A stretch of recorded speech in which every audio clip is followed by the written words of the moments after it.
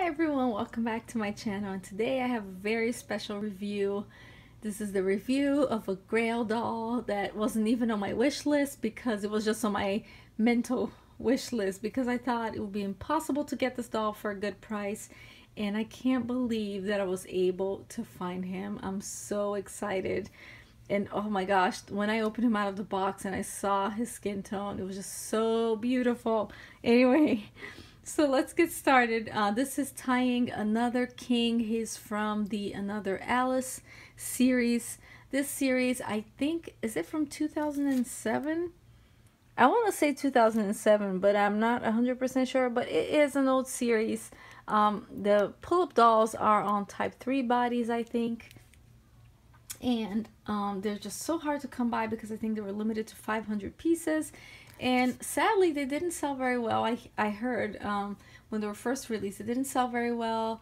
And so I think this is one of the reasons why Groove is reluctant to do dark skin dolls which is a shame. I, I, I think I mean I don't know what was going on with Pullip doll collecting uh, back then but I do think that now um, especially for the market here in the US and you know potentially uh, let's say just the market outside of Asia in general, I think a lot of people will be interested in diversity. So they, they would be interested in dolls that have, you know, darker skin tones and things like that. So anyway, back on to the review. So uh, here is, I'm going to show you what he came with. So he, uh, he comes with his collector card.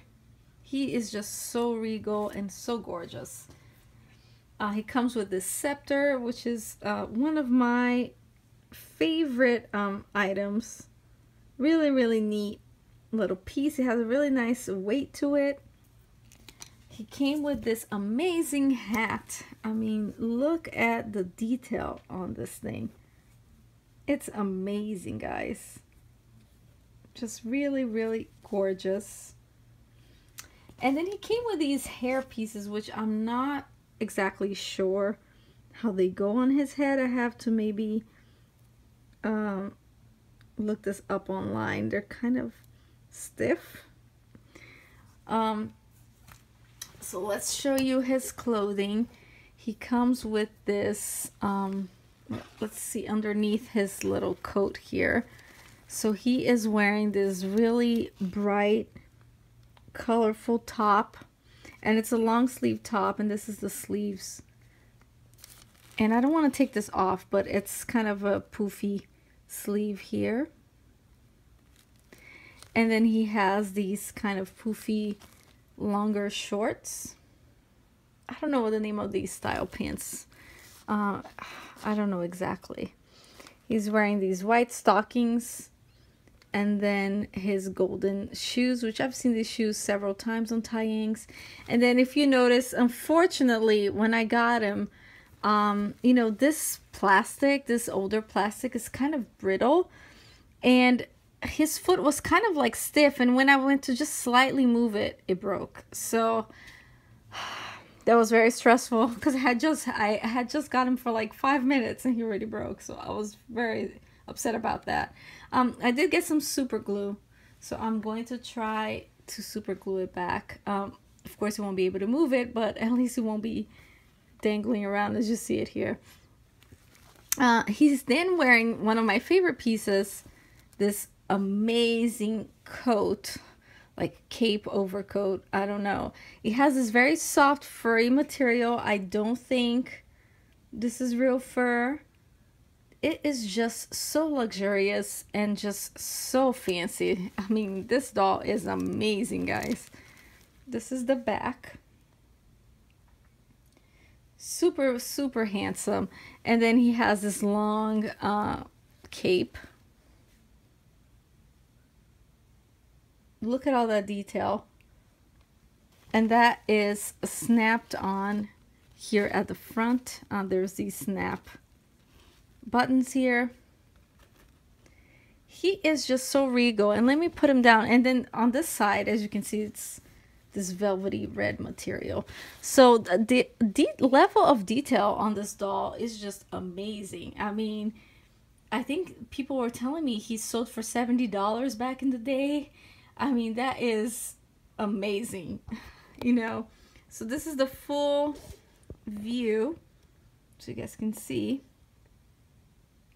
He is just so gorgeous. And then let's move on to his face up. And so first, of course, as you can see, the skin tone is just so unique. And I have here a mocha doll. So you guys can see the comparison. He is a lot darker. And it's just so unique. I've, I have not seen any Pullip dolls with this skin tone. It's really amazing. And this is my Dao Katoya. Her skin's slightly different. But still, look, she's still lighter than he is. So his skin tone is just really gorgeous. Um, and he was my, my top favorite from the series that I really wanted. Um, I after getting him, I really do want to find the, the girls, you know, Alice and another queen. But even if I don't, I'm just happy with having him because he was my top favorite character in that line.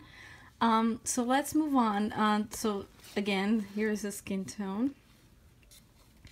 So uh, his face, he has kind of these brownish uh, tones to it.